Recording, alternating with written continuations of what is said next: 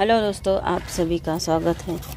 आज मैं दोस्तों, ये देखिए, ये रजनीगंधा का पौधा है, जो बल्ब से हम लगाते हैं। तो आज मैं ये रजनीगंधा पे ही काम करने जा रही हूँ, ये देखिए। इस तरह से ये ऊपर ऊपर का पूरा सूख गया है। और वैसे तो मैं इसमें सोची थी खाद ही देने के लिए, लेकिन देखिए, इस तरह से ये गमला, बिल्कुल ये मिट्टी, प्लास्टिक के था पॉट तो ये इस तरह से देखिए, बल्ब इतने ज़्यादा हो गए कि देखिए कई जगह से इस तरह से टूट गया है। तो इसके बल्ब भी बहुत ज़्यादा बढ़ गए हैं। पहले से और काफ़ी ज़्यादा इसमें हो गए हैं। तो इसे मुझे पूरा निकालना पड़ेगा। निकाल के मैं इसे फिर से दूसरे मिट्टी के गमले में इसे रिपोर्ट करूँगी। और एक ये भी है पौधा, एक गमला। इसमें भी रजनीगंधा का ही बल्ब है। या इसे तो दिख नहीं रहा देखिए, यहाँ पे है। तो इसमें भी काफ़ी ज़्यादा रजनीगंधा के बल्ब लगे हैं। इसमें से निकाल कर मैं इसमें लगाई थी। और इसमें भी अभी हैं पर इतने ज़्यादा नहीं हुए हैं। इस, इसमें काफ़ी ज़्यादा हो गए हैं। एक गमला और है मेरे पास प्लास्टिक का जिसमें छः इंच का है। तो वो मैं उसमें भी लगाई हूँ। तो अब ये इसमें टूट गया है तो चलो इसे मैं निकाल लेती हूँ पहले पूरी तरह से। पानी मैं इसमें दोस्तों कई दिन से नहीं डाली हूँ, क्योंकि जब मुझे रिपोर्ट ही करना था तो इसी वजह से। और देखिए, इसमें तो चीटी बहुत ज़्यादा भरी है। ये देखिए, नीचे नीचे ना पानी लग रहा था, ऊपर तो बिल्कुल नहीं लग रहा था।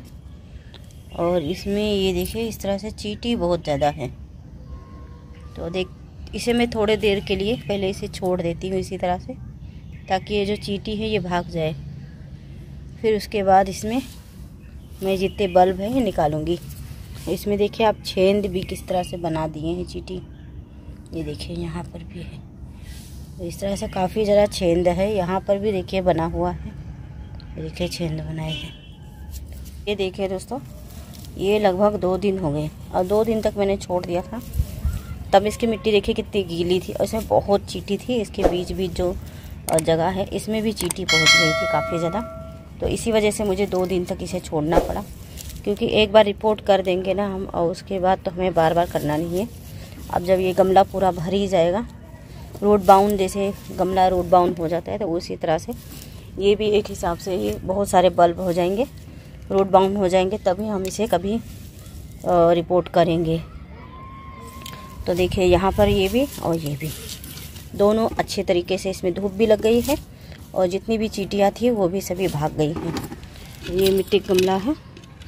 ये लगभग दो सौ बारह इंच का गमला है। तो थोड़ा मैं, ये जो घेरा है ना, ये थोड़ा सा बड़ा है। इसमें करती हूँ, क्योंकि काफ़ी ज़्यादा बल्ब इसमें देखिए रेडी हो गए हैं। ये तैयार हो गए। तो मैं सोचती हूँ, सभी एक ही में आ जाए। देखिए छोटे छोटे से बल्ब कितने ज़्यादा तैयार हो गए हैं, ये देखिए। लेकिन जो अगर हम सोचेंगे ना, इसमें अगर फूल आ जाए तो ये अभी फूल नहीं देगा। फूल यही देगा जो ये बड़ा वाला है, बल्ब जो है, यही फूल देगा। जितने भी ये बड़े बड़े हैं ना, ये फूल देंगे। और जो ये छोटे छोटे साइड से निकल रहे हैं, ये अभी तो फूल नहीं देंगे, ये एक दो साल इसमें फूल लेने में लग जाएगा। काफ़ी सारे देखिए छोटे छोटे इसमें निकल के आ गए हैं। और जब मैं ली थी तो इसे ऑनलाइन परचेज़ की थी। तो देखिए एक इस तरह से ना बड़े बड़े बल्ब, इसे कुछ थोड़े से छोटे थे और इस तरह से चार बल्ब आए थे और चार से आप देख सकते हैं इसमें हो गए हैं। एक और गमले में है दिखाती हूँ इसमें भी मेरे यही है रजनीगंधा के। ये देखिए इसमें मैंने इस तरह से निकाल के इसमें फर्टिलाइज़र ऊपर से डाल दी हूँ। और देखेंगे। ये मिट्टी जितनी भी इसकी खड़ी खड़ी डीली थी तो इसे मैं फोड़ दी हूँ। मुझे खड़ी मिट्टी बिल्कुल अच्छी नहीं लगती जब इस तरह से बारीक बारीक हो जाती है। तभी मुझे कोई भी पौधा रिपोर्टिंग करते समय अच्छा लगता है। और अब इसमें दे देती हूँ खाद दे देती हूँ ये वर्नी कम्पोस्ट तो इसमें अच्छे तरीके से हम खाद देंगे ताकि बार बार तो हम सूखी खाद नहीं दोस्तों दे पाएँगे। लिक्विड फर्टिलाइज़र दे सकते हैं। जैसे सभी पौधे में हम गुड़ाई करके सूखी खाद दे देते हैं तो हम किसी और मतलब इसमें तो गुड़ाई नहीं कर सकते, क्योंकि इतनी ज़्यादा इसमें बल्ब होती है। तो गुड़ाई करना तो मुश्किल होता है। और यहाँ पर मैं ली हूँ नीम खली और ये ली हूँ एप्सम सॉल्ट एप्सम सॉल्ट ज़रूरी है, क्योंकि काफ़ी टाइम हो गया है, मार्च का महीना खत्म आज है चौदह तारीख। तो इसकी जल्दी ग्रोथ के लिए मैं दे रही हूँ, और ये दे रही हूँ सीविड जो इससे भी जल्दी फूल जो निकल के आना है, वो फूल भी निकलेगा और ग्रोथ जल्दी होगा। क्योंकि मार्च का महीना दोस्तों चालू है इसे फेब्रुवरी में हमें काम कर लेना चाहिए था। और ये देखिए, थोड़ा सा मैं ले रही हूँ वन कोकोपीट देखिए। कोकोपीट से थोड़ी हल्की हो जाती है। हमें गमला उठा के रखने में थोड़ा आसानी हो जाता है। और ये बिल्कुल भूरी मिट्टी चाहिए ताकि इसकी जो बल्ब है और ज़्यादा फैलने में इन का आराम मिले। तो चलिए पहले मिक्स कर लेती हूँ इन्हें। ये देखिए, यहाँ पर मैंने ये पत्थर रख दिया है गमले में।